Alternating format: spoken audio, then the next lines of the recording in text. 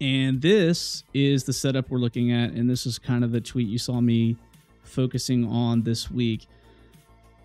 It's if you go back to the old YouTube video tutorial where I do the Wyckoff 101 with like Rainbow Theory, the long, the five, 10 second version of the, of the stream is prices go up, prices go down, and then they chill flat. And then they bounce through there and they chew people up, whales build positions, and then they either break up or they break down. It's it's not rocket science. People try to make this like crazy rocket science. The price only goes to the right and it can only go up to the right and down to the right. Those are the three options sideways, up, or down. And right now, we are here. Now, I've got both scenarios drawn out here.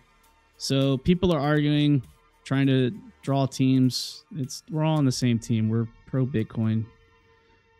Everyone needs to chill out, but we've got either it's reaccumulation that goes up or this is actually distribution that goes down. Regardless, we're not really going to bet on which side it is. We're going to try to protect ourselves to move forward and figure out how do we play this cuz it's one of the three things, right? It's going to go to the right, it's going to go up or it's going to go kind of down. And right now we're already we're going to the right and we're going through the chop. Now, the schematics are all over the place. People pick and choose. And I even saw someone post a, a Wyckoff schematic today or yesterday that had a plus 70% uh, deviation in it. So that was new. Um, I think if you're saying the top is in at 30 and, and count the mood to 74 as a UTAD, I think that's kind of it's kind of a mental issue, insanity. But I digress. We're starting to see the front, and the somewhere in here, we're kind of in the middle, like five and seven, and the kind of the end of phase B of this schematic here. And there's really not too many options. Like I said, it's it's maybe we go into the halving and it black swans like we saw on what two halvings ago, and that's what this black swan is here. Oh no. Or we're gonna tag the support and we're gonna come back up and do this UTAD test, right? Or would be on the reaccumulation, it would be the uh, SOS, LPS, whatever you want to call it up here, tag the resistance, and then we either break out or we come back down and blow out, and then we get like Black Swan 2.0, whatever. Albeit this will probably be like a a bear market thing that'll just blow out for a while and then curve up. Or we talk about we're in the never been done before territories and we're just going to go back to 20k again. I really don't think that's the case. Um, but that's the argument. And it's not even an argument. This is this is really the i mean maybe it does something different in between here but it's still going to either go down through this support or it's going to go up through this resistance.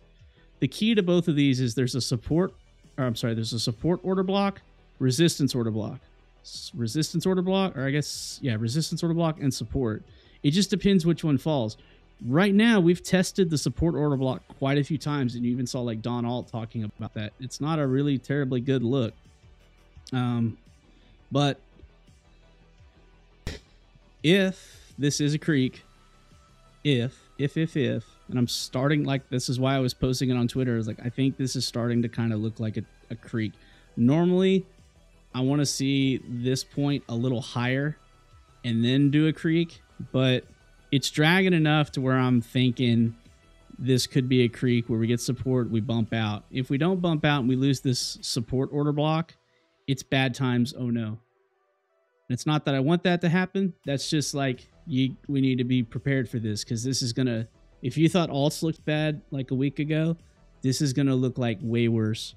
Um and there's just no there's just no way around it. If if crypto goes down and or if Bitcoin goes down, the others are to kind of bow to that one, and it's it's not to be pretty. And it's just that's how markets are especially if the S&P just keeps nuking and it doesn't hold at like 48. This is going to struggle. But to be honest with you guys, my my biggest thing we had the whole Middle East conflict really and people were screaming like World War 3 and bears hit 62 $60,000 like that's it.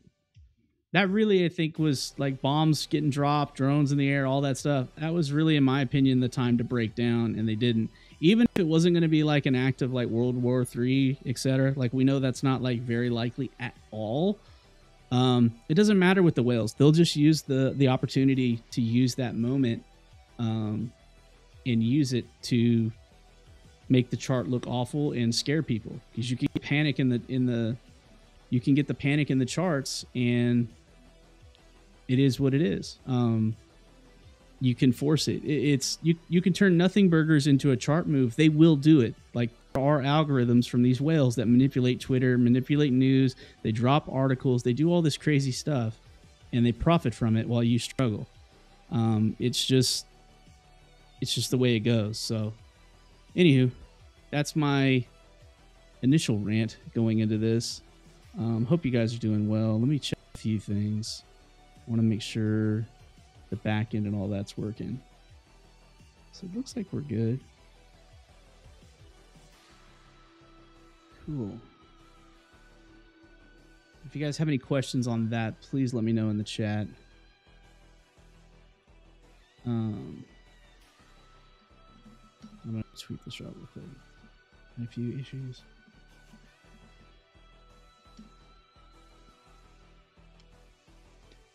So, Black Swan, maybe doubtful. I'm. I mean, end of the day, if you hurt me, I'm real bullish on Bitcoin halvings. I still think the number goes up at the end of the day. I don't think it's over now.